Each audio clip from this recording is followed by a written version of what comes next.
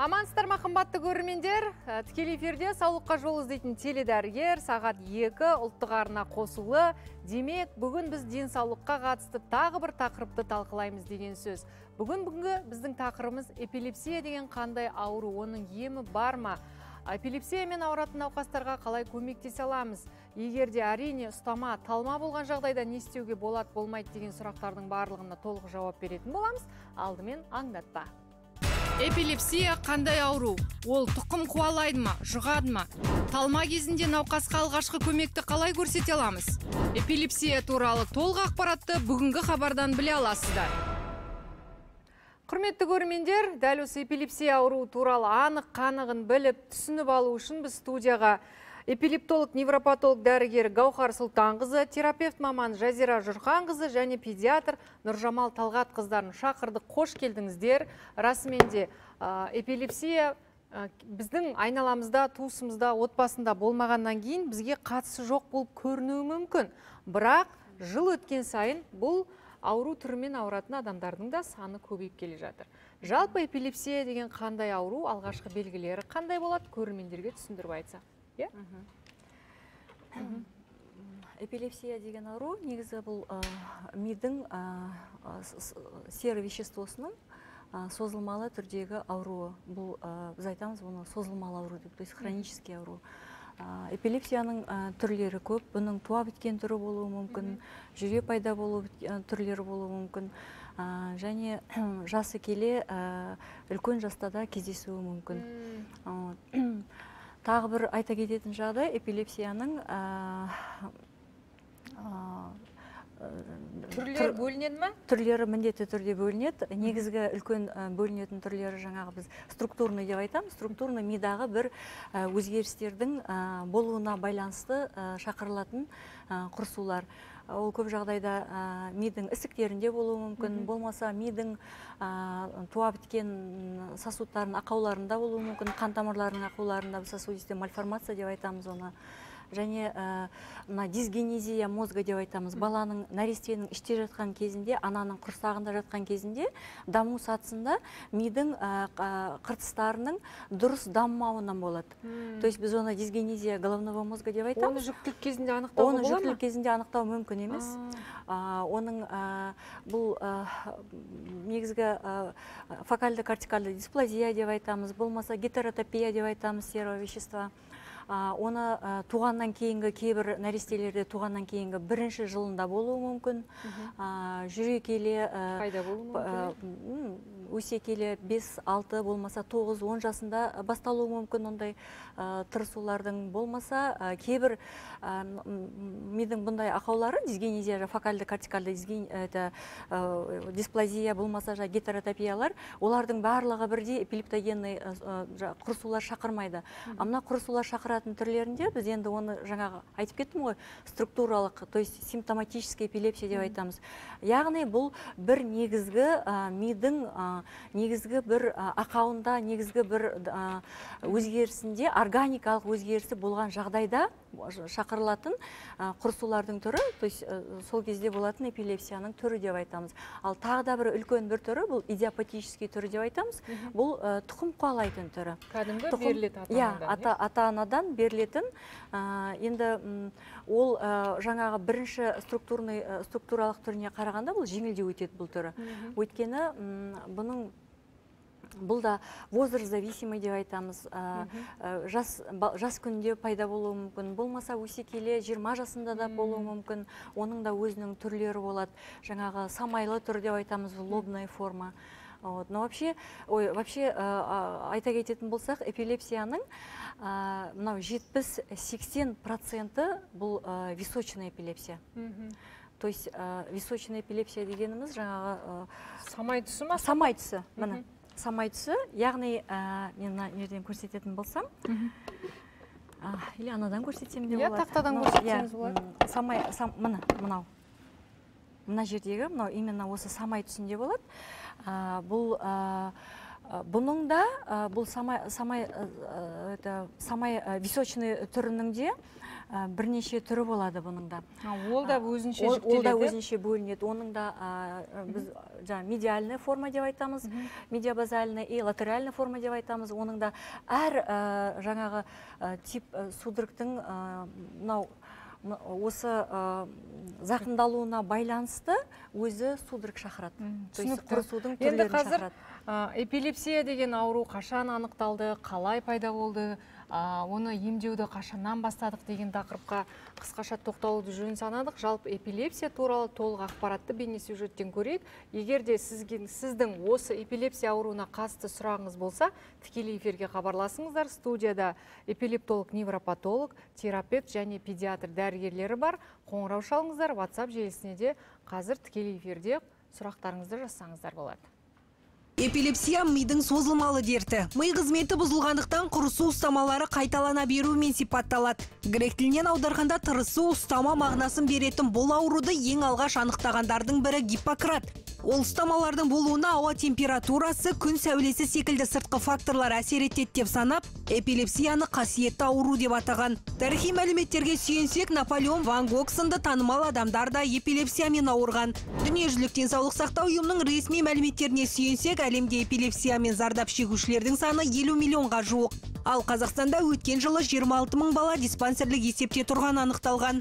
Мамандар дене тырысуы сирек болып науқастың қалыпты өміріне аса кедергі келтірмесе де эпилепсияны емдеу керек екенін айтады. Өйткені бұл ауру басқа асқынуларымен адам өміріне аса қауіпті.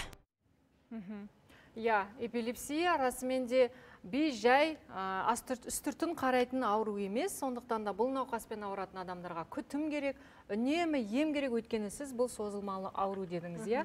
Жаңа жүктілік кезінде ананың ішінде жатқан баланың эпилепсиямен туа ма тумай ма оны анықтау мүмкін емес дедіңіз. Бірақ жүктілікке дайындалудың маңызы қандай баланың эпилепсия болып тумау үшін? Біріншіден эпилепсияның түрі көп деп айттым ғой жаңа. Ә, сондықтан ә, әрбір ана ә, әрбір семья жас отау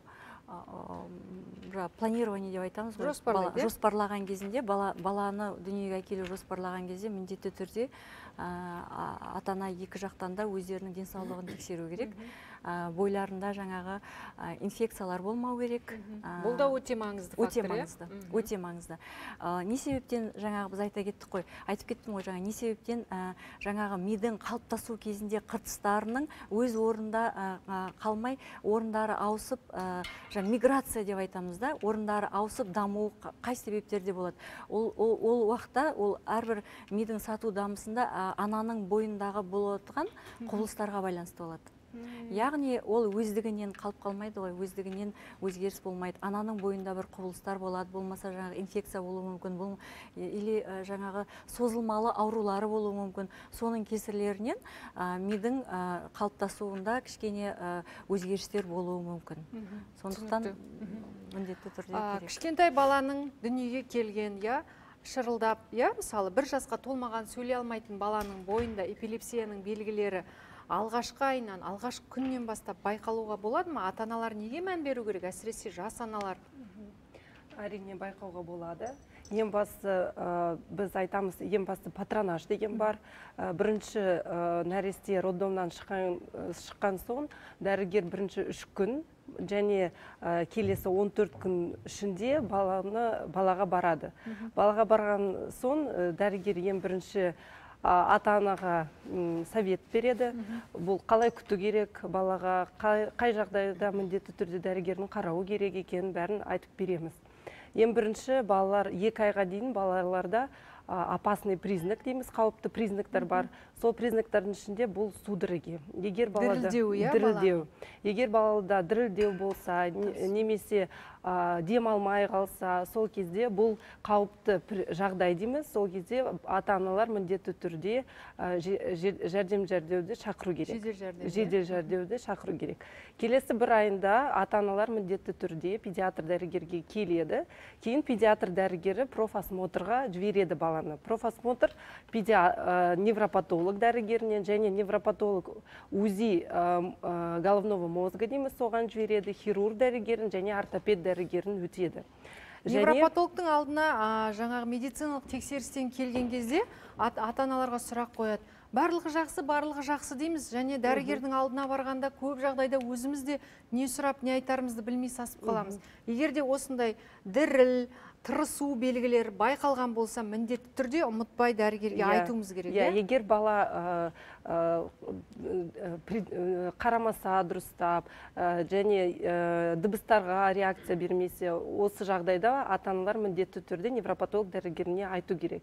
Келесі бір айында балалар кішкене күліп дыбыс шығарады. Егер де бала күлмей дыбыс шығармаса міндетті түрде невропатолог дәрігеріне айту керек. Кейін педиатр дәрігері ата анаға моторный развитие туралы ата анаға айтып береді. Ол не? Бір айында бала не істеу керек? Бір айында бала кішкене басын көтеріп ә, ата анасын танып күлімдейді.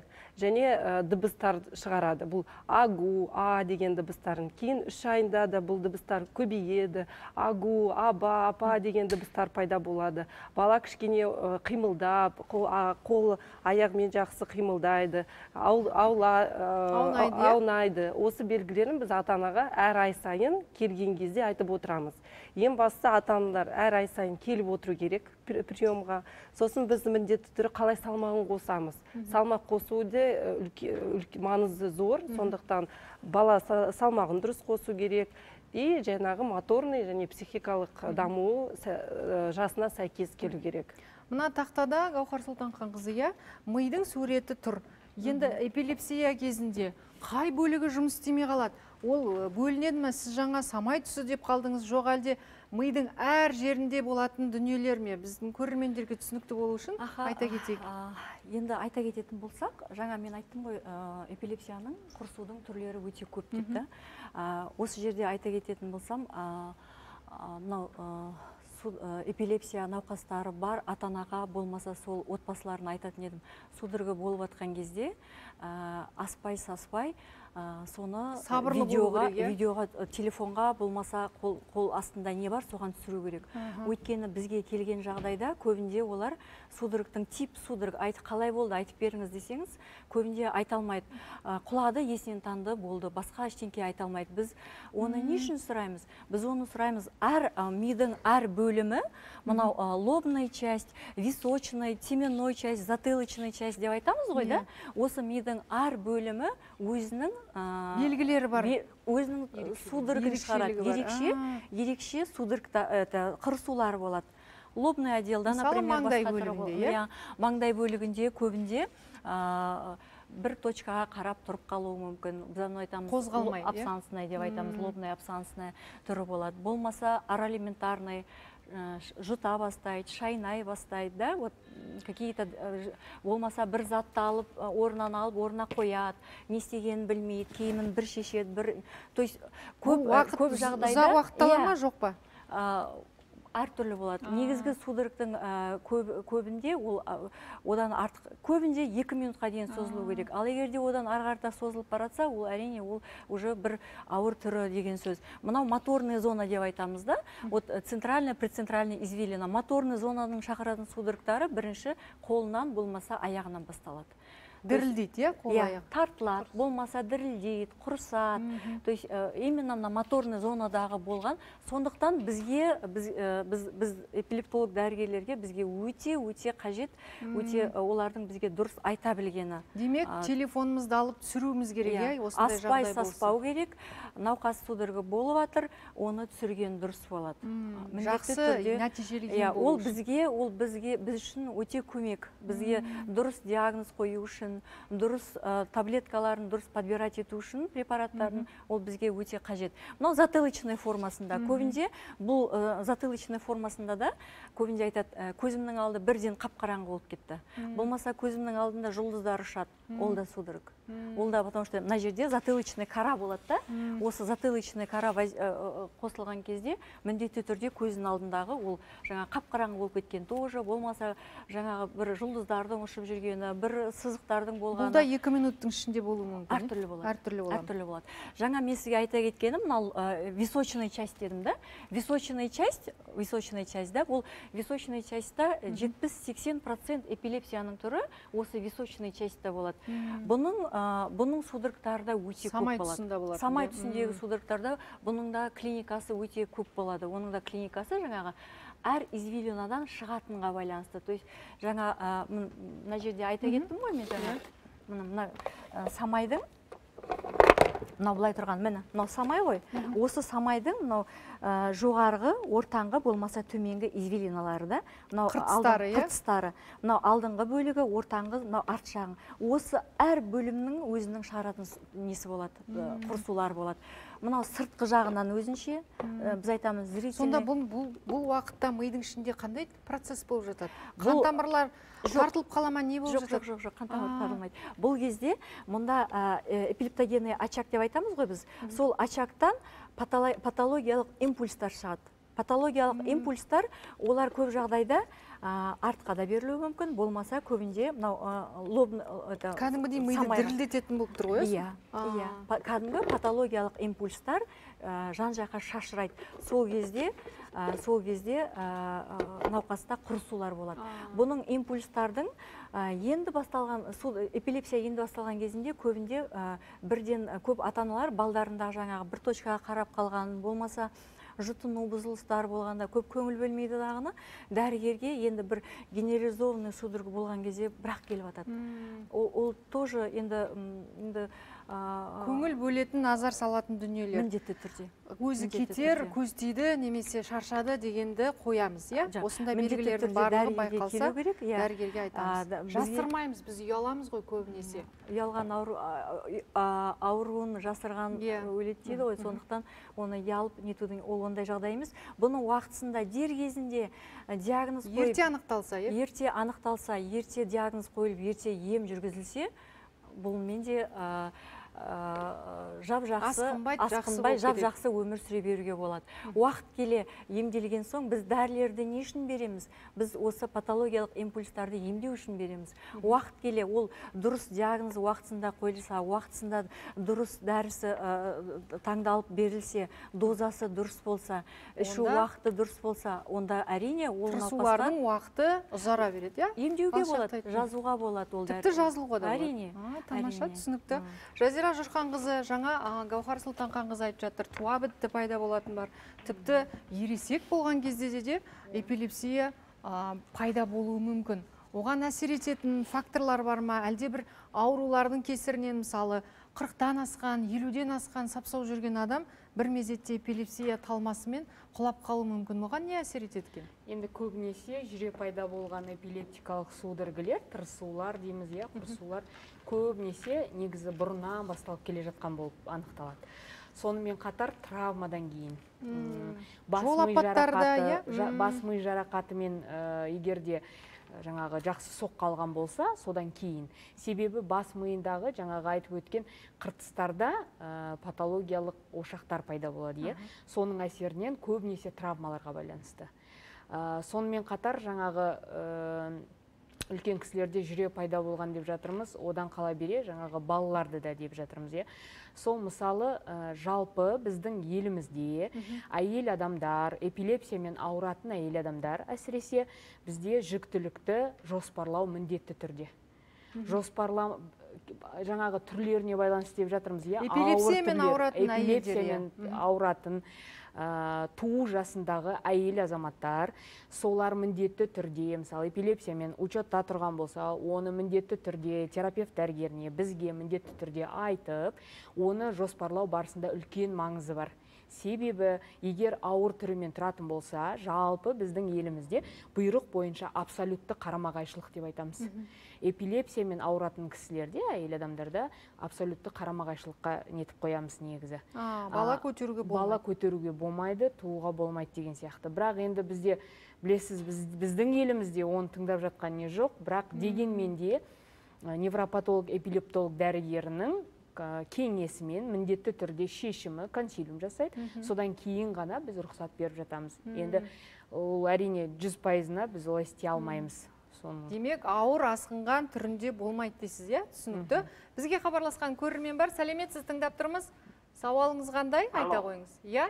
Алло. Тыңдап отырмыз тікелей эфирдесіз иә? Сәлеметсіз ба жазира? Сәлеметпіз. Бұл мен өткенде анау неден тараздан хабарласқан марысбекпін ғой? Иә марысбек эпилепсия бар еді. Иә. Иә эпилепсия бар еді ғой. Сол менде жүре пайда болды да. Жүре пайда болды. Екі рет бас баспен құлап едім ғой. Сосын карбамазепин алдым бензонал деген дәрілер ішетін да. Иә. Енді қазір ә, карбамазепин ішіп жатырмын да.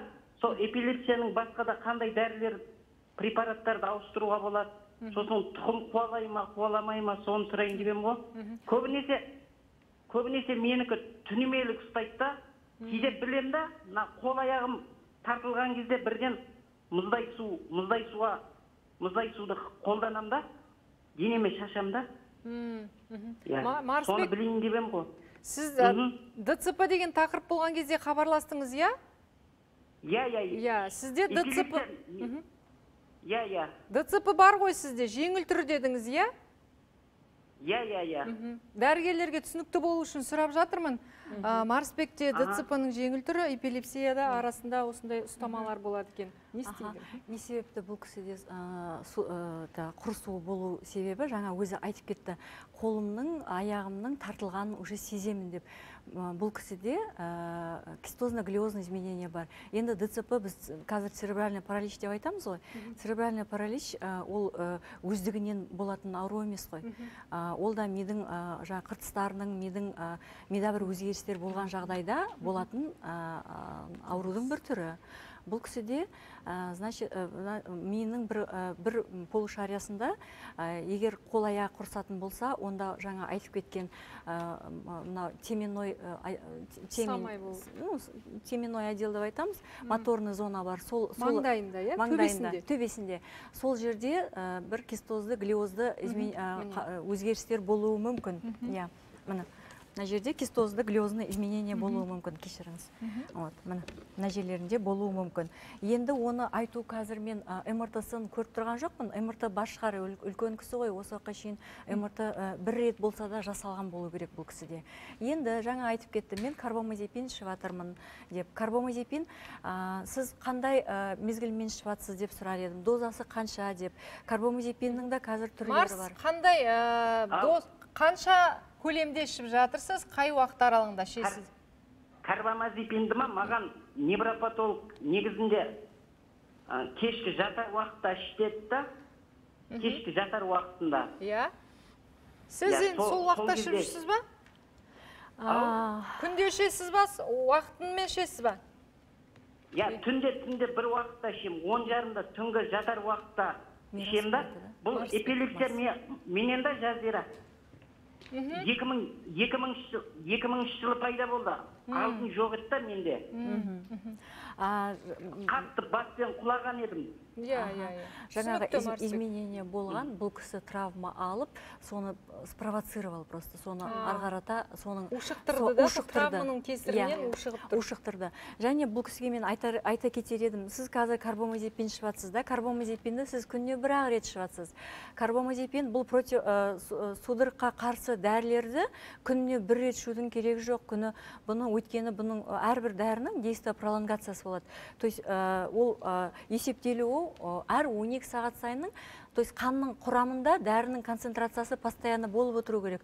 Сондықтан әр 12 сағат сайын бұл кісі ол определенный өзіне берілген дозаны ішіп отыру керек. Ол кісінің салмағына қарап беріледі ол. Э, э, мына электроэнцефалография жасаймыз ғой эгодағы изменениеге қарата беріледі. Демек күніне екі рет ішу керек екі, екі рет ішу керек. Дозасы қазіргі дозасы бұл кісіде 200-ден болу керек. 200 миллиграммнан таңертең 8 кешкі 8 болмаса таңертең 9 кешкі 9 күнде бір э, уақытта ішіп отыру керек. Марсбек сізге иә 200 дозамен иә 200 бен а, таңертең 9-да кешкі 9-да күніне екі рет ішіңіз деп кеңес беруде. А, байланысыңызды үзбеңіз бізде қазір шағын үзіліс. Сізбен студияда тағы да кеңесімізді жалғастырайық. Иә марсбекке түсінікті болу үшін. Қымбатты көрермендер енді эпилепсия талмасы ұстаған кезде тырысу болған кезде біз науқастарға қалай алғашқы көмекті дұрыс көрсетуіміз керек қандай қателіктер жібермеуіміз керек неге назар аударуымыз керек шағын үзілістен соң айтамыз.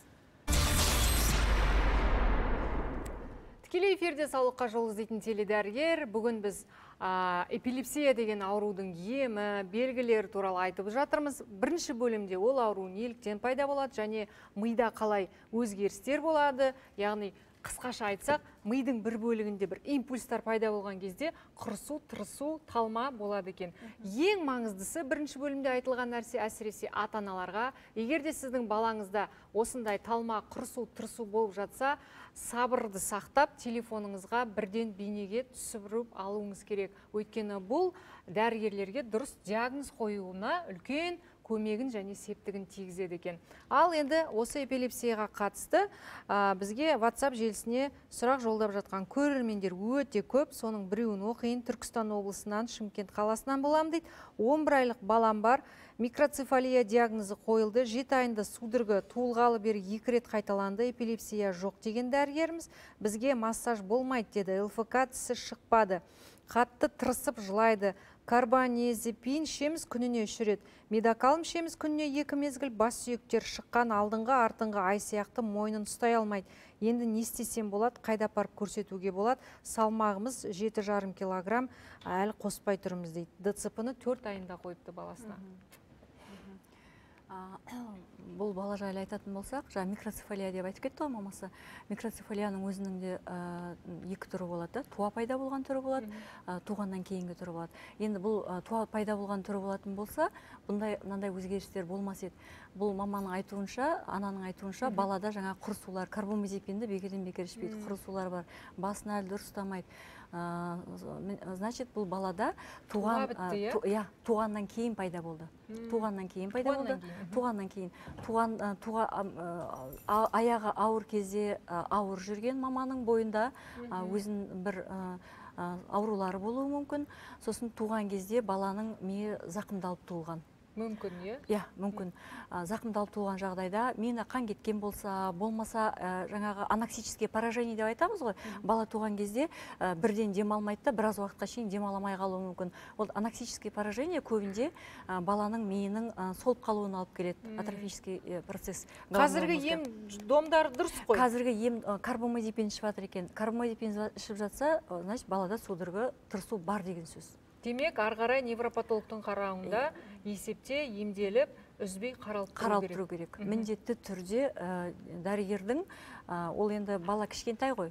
Сондықтан бала қазір күнде өседі. Өскен сайын баланың ә, біз айтамыз бала өсе келе ә, изменение болатын болса ол ә, декомпенсация беруі мүмкін.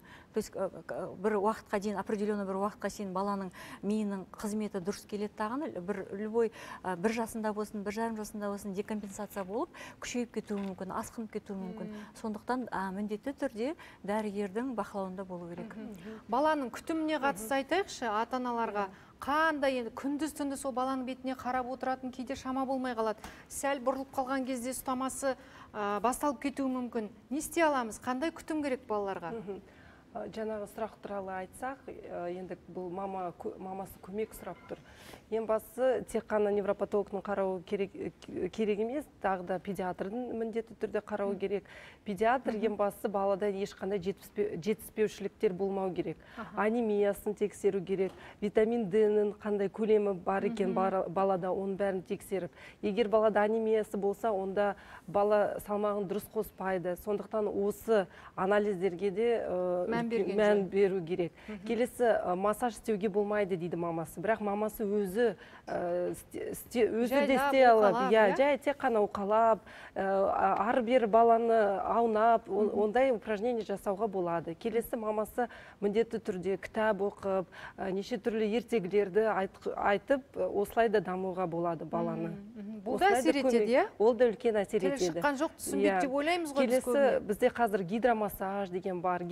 Гидромассажный коврик деген бар. Осындай ковриктерді баланы жатқызуға болады.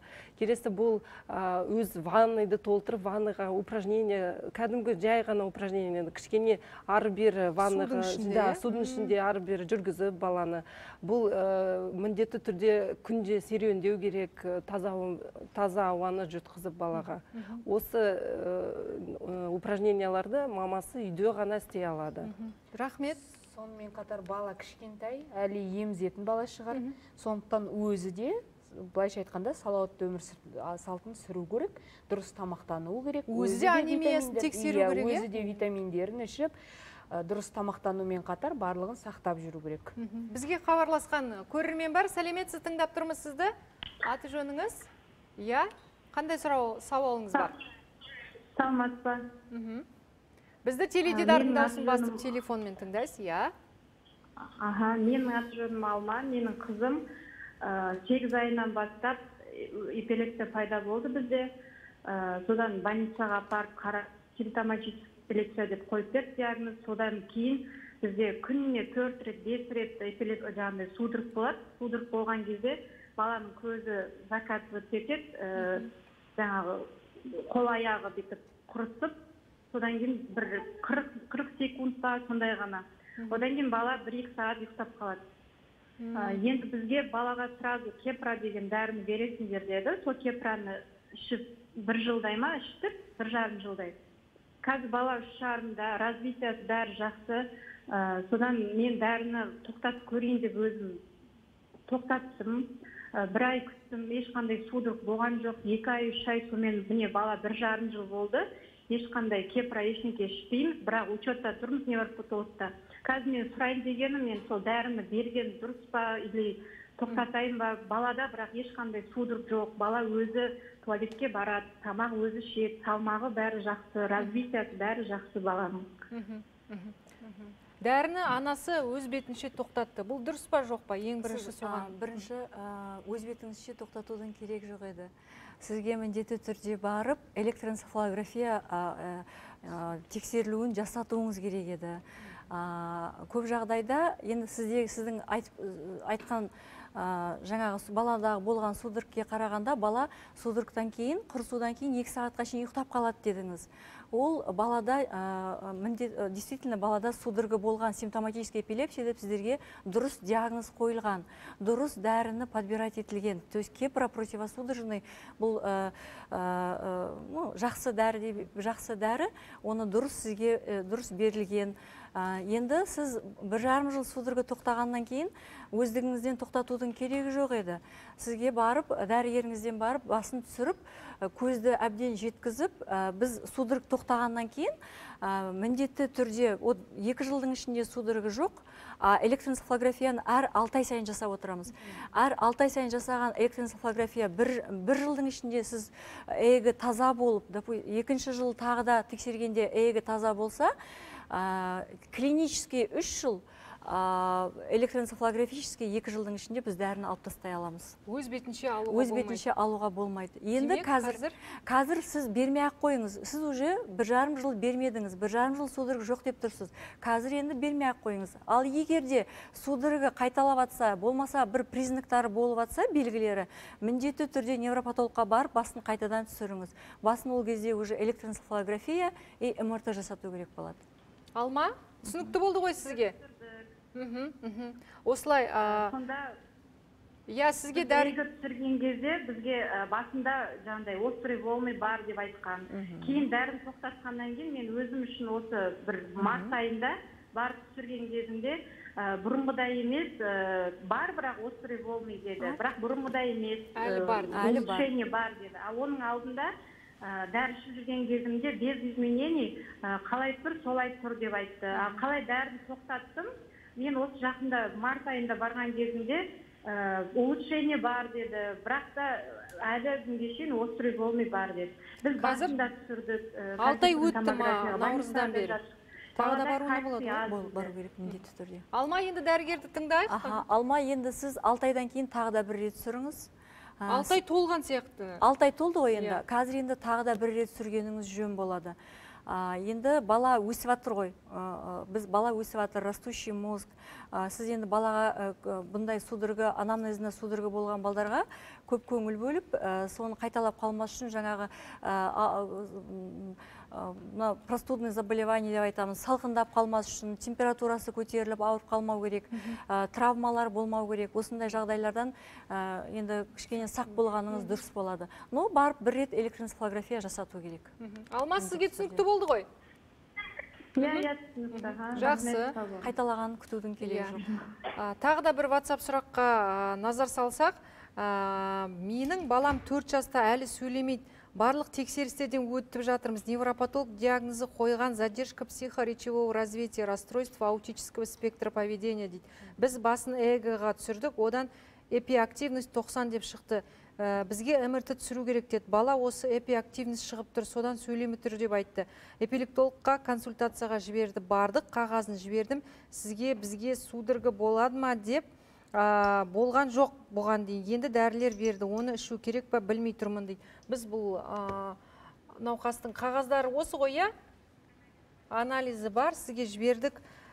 Ә, эпиактивность жалпы жазыла ма бала? Сол туралы білейін деп едім дейді біздің Аха. көрерменіміз. Иә бұл ә, мен мынаны жаңа оқып шықтым. Ә, менің түсінгенім бойынша бұл бала ә, екі жасқа шейін дұрыс дамып келген бала екен. Екі жасында ә, балада жаңағы приобретенный ә, навыкта ә, ну, жоғалтқан сөйлеуі Бәрі тоқтап қалған, тоқтап қалған. То есть афазия сенсорный афазия болған балада то есть балада дамуының тоқтауы болған.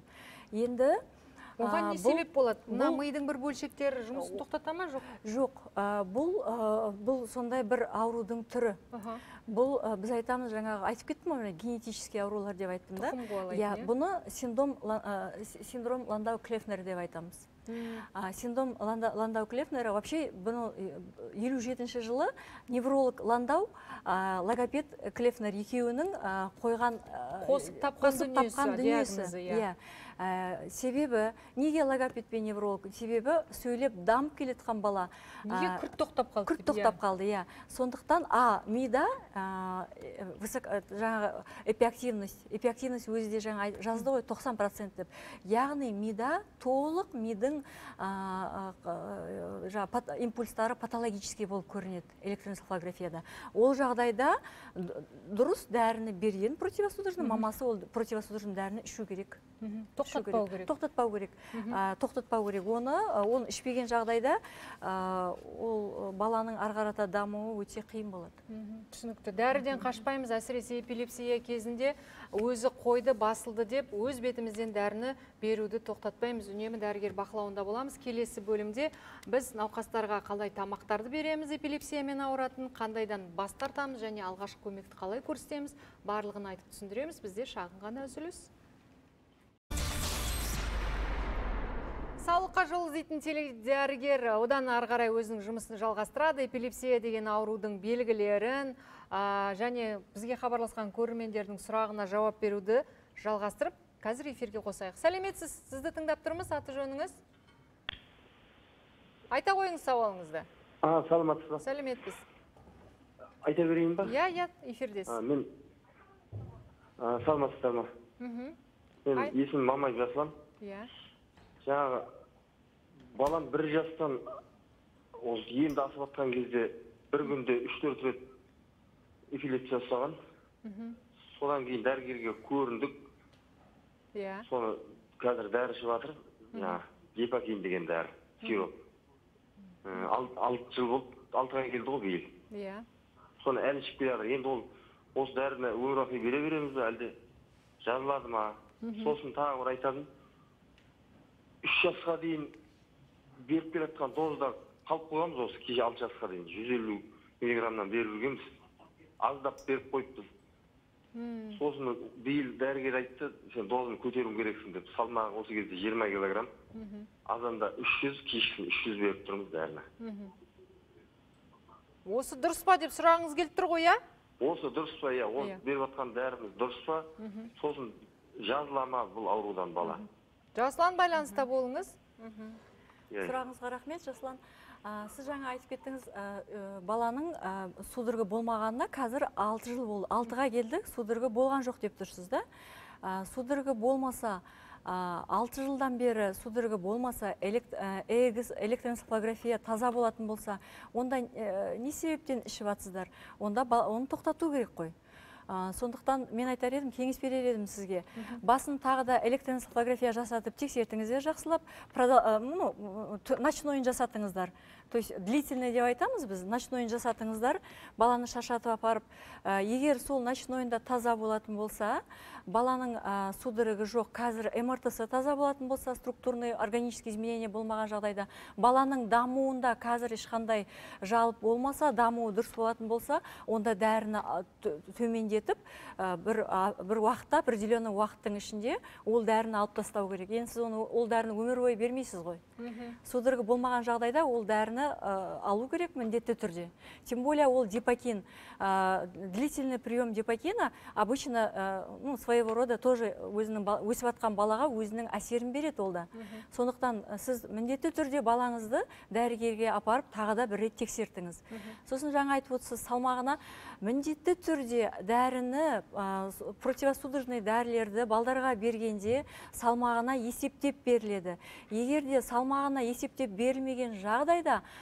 ол ә, біз өзіміз искусственно фармакорезистентность шақырып аламыз. То есть сол ә, п- ә, судорогқа қарсы дәріге біз тұрақтылық шақырамыз сол ә, науқастың бойында. Ол, ол ондай жағдайға жол бермеу керек. Міндетті түрде оны есептеп отыру керек. А, сізге алдымен дәрігерге барып балаңыздың жаңағы түнгі дедіңіз иә? Э- эго дедіңіз иә? Электроэнцефалография деп айтамыз. Соған түсіресіз сосын дәрігердің қабылдауына қайта барасыз. Егер де бәрі жақсы болса онда дәріні үзуге тура келеді иә? Дәріні бірден алып тастамайсыз. ә, біртіндеп сізге дәрігердің өзі айтады қанша уақытта қаншадан төмендетесіз? Қанша уақытта төмендетіп жатқан уақытта тағы да басын түсіресіз? Бұл ә, противосудорожный дәріні бірден алып тастауға болмайды. Міндетті түрде дәрігердің бақылауыменен дәрігердің өзінің төмендетуіменен ғана жүргізіп төмендетіп алып тастауға болады. Нұржамал талғатқызы алты жасар балаға 20 килограмм салмақ қалыпты ма? Қалыпты. Қалыпты иә? Жақсы. жасұлан сізге барлығы түсінікті болды ма? Мен жоқ мен дұрыстап түсіндіріп айтайыншы балам дұрыстап түсіндіріп айта алмай жатыр жаным. Оны арасында екі жыл үш жыл дозасын аз беріп қойған ғой.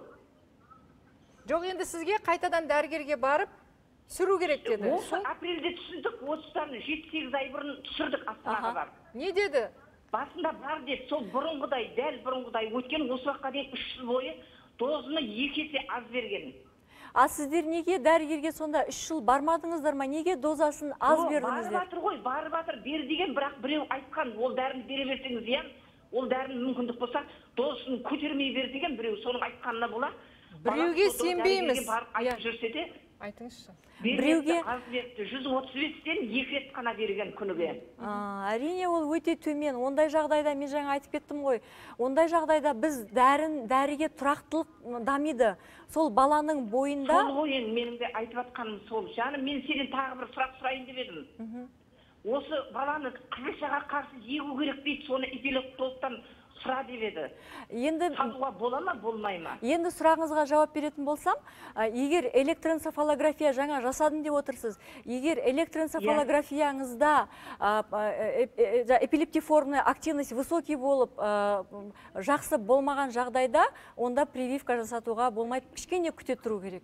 Енді сіз қазір ғана дозасын көтердіңіз. Дозасын көтерген соң бір жарты жылдың көлемінде бір жеті сегіз айдың көлемінде ол дұрысталу керек. Дұрысталған соң салдырсаңыз болады. Бірақ қазір асықпаңыз. Тағы да көрермендерге ескертейікші. Біреу айтты дозасын көбейту керек деп айтты. Олай дозасын азайту керек. әр адамның өзінің ауруына байланысты беріледі. Дәрігерден Бұл- сосын байланысты үзбеуіміз иә керек бұл эпилепсия деген бұл өпкенің қабынуы емес. Болмаса жаңағы бауырдың бір аурулары емес бұл өте сондай ә, созылмалы өте сондай ә, ауыр түрі аурудың. Сондықтан енді мидың созылмалы ауруы болғандықтан бұны ә, емдеу де оңай емес. Сондықтан сіздер өздіктеріңізбенен ешқашан емге жүгінбеулеріңіз керек. Анау былау айтты мынау былай айтты деп басқа емдерге жүгінуге болмайды. Дәрігер не айтады? Сол дәрігердің айтқанын істеулеріңіз керек. Вот, ол міндетті түрде солай болу керек. Жақсы. Енді осы эпилепсиямен ауыратын науқастар үнемі жақсы күтімде жақсы өзінің уақытында дәрісін қабылдап жүруіміз керек деп айтып жатырмыз. Реабилитол реабилитациялық орталықтар да бар. Арнайы ата аналарға көмектесетін нұсқаулығын көрсететін осындай науқаспен ауыратын балаларға ересектерге ем дом жасайтын. Ендеше экранға назар салайық. Егер сіз бармаған болсаңыз көріңіз ақпарат алыңыз және сұрауға болады. Қайда барсам қалай барсам иә?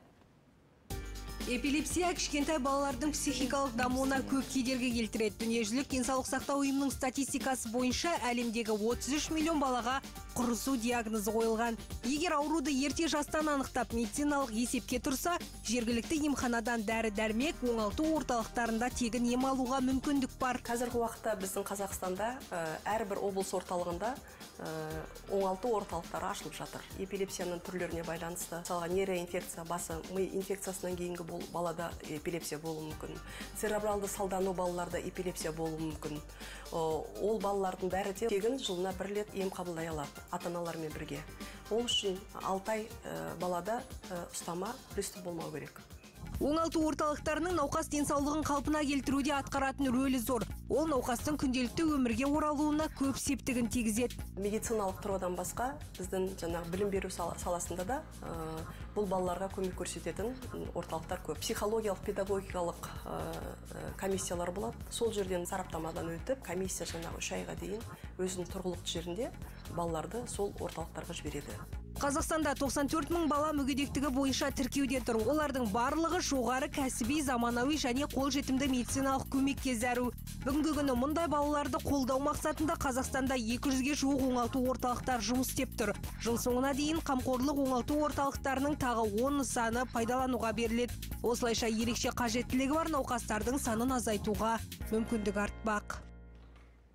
Иә реабилитациялық орталық туралы ақпаратқа қанық болдық. Енді эпилепсиямен ауыратын науқастарға тырысу құрысу болған кезде үй жағдайында алғашқы көмекті қалай көрсетеміз сіз айттыңыз паникаға берілмейміз дедіңіз иә? Оны біз қазір жедел жәрдем айдарында көрсетейік. Көрермендер мүмкін болса жазып алуына да болады иә? Әрине. Міндетті түрде оны көріп жазып алу керек. Тырысу болған жағдайда ә, қазір көп жағдайда келіп жатады ата аналары болмаса қасындағы адамдары менің қолымды тістеп алдық тілін жұтып ала ма деп қолымды салып едім деп. Болмаса ә, науқастардың өзі айтып жатады тістерім түсіп қалды аузына қасық болмаса бір қатты заттарды салып жатады ешқашан ауызға ештеңке салуға болмайды. Қасық болсын саусақ болсын олай салуға болмайды. Тілін шайнап қояды тұншығып қалады деп ойлайды ғой көрермендер. судыр- ә, тырысу болған жағдайда науқасты ә, былай бір қырына жатқызу керек болды. Бір қырына жатқызу керек. То есть мына басы бір қырменен былай жату керек. Ә, үйде болған жағдайда ә, үйде болған жағдайда басының астына кішкене жастық қоюға болады. Басын жаңа травмировать етіп алмау керек қой. Өйткені тырысу болған кезде тек денесі ғана қимылдамайды басы да қимылдап жатады вот бір жанына жатқызып басына ал көшеде болған жағдайда көбінде енді көшеде де болып жатады ғой. Ондай жағдайда жаңағы сырт киімін шешіп болмаса ә, өзіңіздің үстіңіздегі иә Иә, өзінің үстіндегі киім киімді шешіп иә. астына қоясыз иә иә міндетті түрде барлық ну самое главное басын ұрып алмау керек. Басына зақым келмеу керек. басына зақым келмеу керек. Осылай ұстап тұру керек. Жанында жатқан кезде ол тілі ар жағына кетіп қалмайды.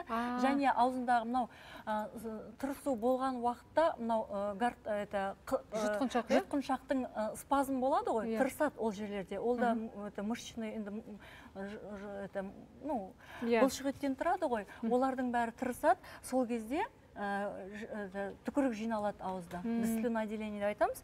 Сол түкірік ар жағына кетіп қалып оны ә, шаш алмас үшін, иә. тұншықпас үшін мынау жанына жатқызсаң ол өзі ағып тілі өз, өзінің аузының ішінде тұрады. Түсінікті. Демек қасық салмаймыз та- қатты зат салмаймыз. Қа- қатты зат салып қол салып олай болуға болмайды. Жақсы енді эпилепсиямен ауыратын науқастарға не жеуге болады не жеуге болмайды деген сұраққа біз пайдалы кеңес айдарында жауап береміз.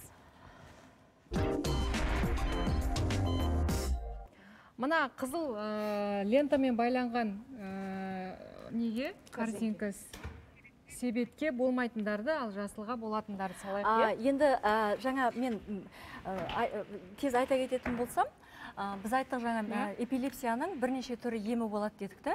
Бірінші ә, медикаментозный. Препаратпен емдейміз. Препаратпен екі жылдың көлемінде төрт препаратты қолданған жағдайда көмек болмаса иә, болмаса ондай жағдайда біз кетогенный диета деп айтамыз. Кетогенный диета болған жағдайда ол кетогенный диетаның ә, 70-80 проценті майдан болады. Қайсысы болады қайсысы болмайды? Салайықшы болмайтын- болмайтынды болмайтынға салатын болсақ мына углевод мен салайын. Күріш. углевод күріш болмайды. Қант болмайды. Қант болмайды иә. Мынау гречканы болмайды. Анау мед болмайды. Ұн болмайды. Мынау банан болмайды да? Банан болмайды Иә. аха. Вот.